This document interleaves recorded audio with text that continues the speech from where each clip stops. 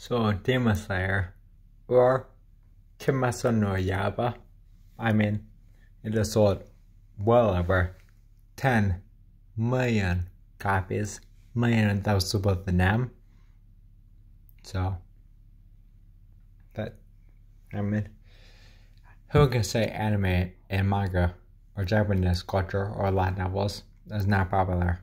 All you need to do is look at the numbers. So the numbers speak for themselves. So did you know this? But wow, 10 million with the name. I mean, holy, holy crap. Just, just mind boggling, mind boggling. Okay, goodbye. No, or out. Take it back.